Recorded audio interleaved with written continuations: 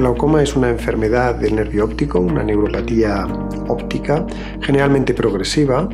que puede llevar a la ceguera si no se trata adecuadamente, pero que eh, puede ser tratada para eh, reducir la velocidad de progresión y para conservar la visión de los pacientes. Muchos de los glaucomas tienen una base genética y en realidad en la mayoría de ellos eh, se produce una elevación de la presión intraocular eh, que con otros factores daña el nervio óptico y provoca una muerte precoz de las células nerviosas que constituyen el nervio óptico.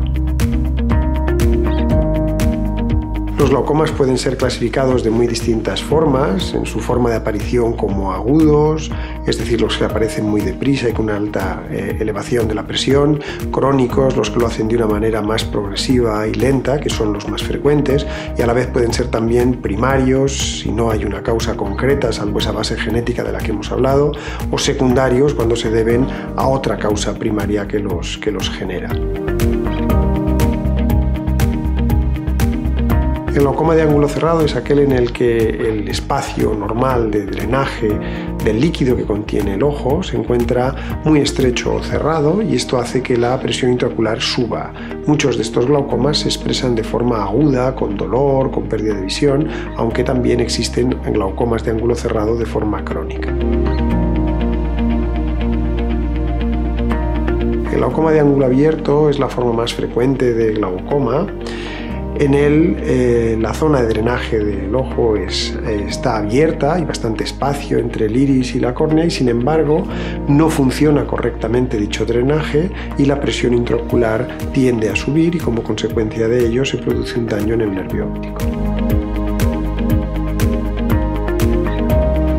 En general el glaucoma es más frecuente con la edad, eh, generalmente raro por debajo de los 40 años y su frecuencia va aumentando a partir de entonces, desde el 2% hasta el 3, 4, 5% en las personas de mayor edad. También es más frecuente cuando ya existe algún familiar que sufra la enfermedad y es también más frecuente en miopes, es más frecuente también en personas de origen afroamericano. Bueno, lo fundamental es eh, realizar eh,